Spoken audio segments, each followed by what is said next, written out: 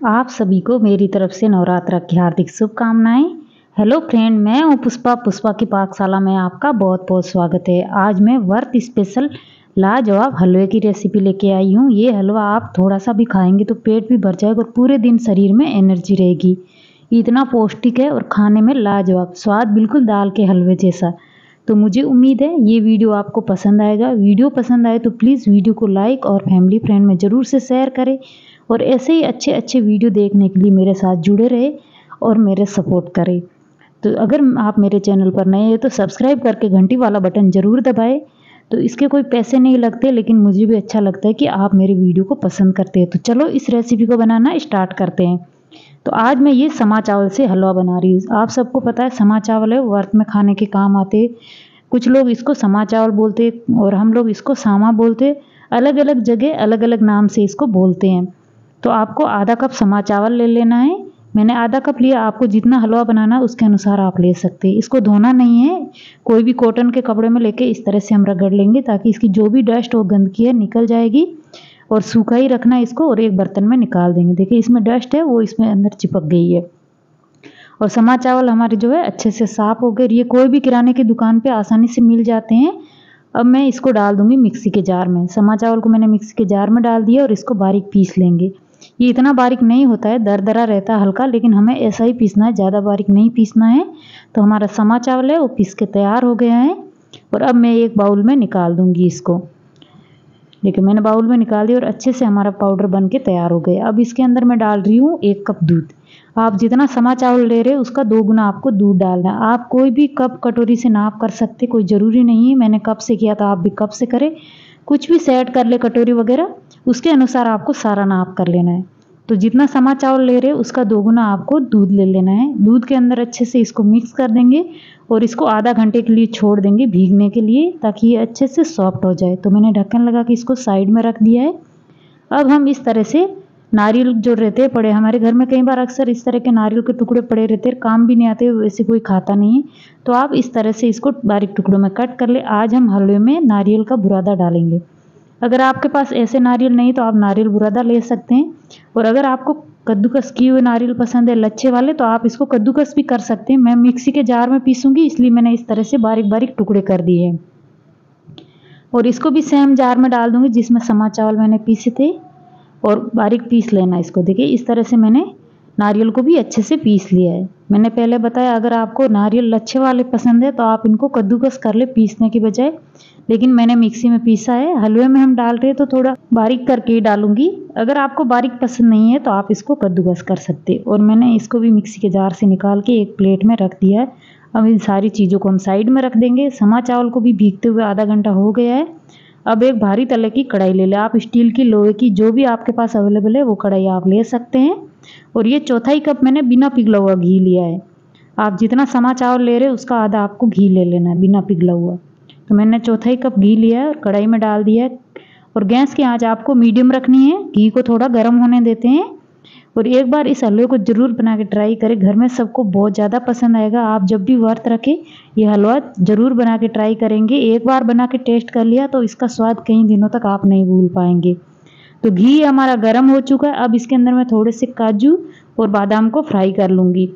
थोड़े से इसमें मैंने ज़्यादा ही डाले। ज़्यादा ड्राई फ्रूट अच्छे लगते हैं। आप अपने इच्छा अनुसार ड्राई फ्रूट और भी डाल सकते हैं। किशमिश हो गया, पिस्ता, अखरोट, जो भी आप डालना चाहते हैं, डाल दें और फ्राई किए हुए जो ड्राई फ्रूट है, उनका टेस्ट अच्छा आता है। हल्का बादामी कलर हो जाए तो ड्राई फ्रूट हम घी से निकाल देंगे वापस कटोरी के अंदर। गैस की आँच मैंने अभी भी मीडियम रखी है। पहले भी बता चुकी हूँ, गैस की आँच आपको तेज़ नहीं करनी। इसके अंदर मैंने डाल दी आधा कप चीनी। ये बिल्कुल परफेक्ट मीठा है। फिर भी अगर आप कम या ज़्यादा खाना पसंद करते थोड़ी सी मात्रा घटा या बढ़ा सकते तो मैंने जितना समा चावल लिया था, उतनी चीनी ली है।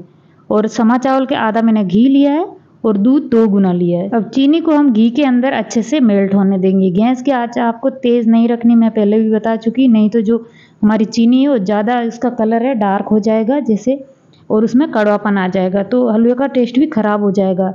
तो आपको धीमी आँच पे या फिर मीडियम आँच पे इस तरह से चीनी को कैरमलाइज कर लेना है घी के अंदर। इस तरह का कलर आ जाए, बिल्कुल परफेक्ट है। देखिए, चीनी है, इसके अंदर अच्छे से मेल्ट हो चुकी है, ज़्यादा आपको नहीं पकाना है। और इस तरह से आपने शायद ही कभी समा चावल से हलवा बनाया होगा और ना ही आपको शायद किसी ने बनाना बताया होगा। पूरे यूट्यूब पे शायद ही आपको ये रेसिपी मिलेगी समा चावल हलवे की। तो एक बार इसको ज़रूर बनाना आप और आप टेस्ट करना बना के कि ये कैसा बनता है, फिर आप बार बार यही बनाएँगे।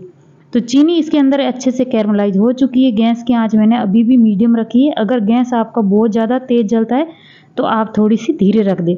तो मैंने इसके अंदर समा चावल भिगो के रखे थे वो और नारियल डाल दिया है और ये तुरंत मिक्स हो जाएगा। जब मैंने एक बार समा चावल इसके अंदर डाले थे तो चीनी वो हार्ड हो गई थी और पाँच मिनट के बाद आप देख सकते हैं, कुछ इस तरह का हलवा दिख रहा है और चीनी अच्छे से इसके अंदर मिक्स हो चुकी है।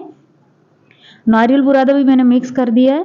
वैसे आपको इलायची का फ्लेवर पसंद हो तो डालें। मैंने थोड़ा सा इलायची पाउडर डाला है। नारियल डाला है तो उसका फ्लेवर है। वैसे नहीं भी डालेंगे तो भी कोई ज़रूरत नहीं है।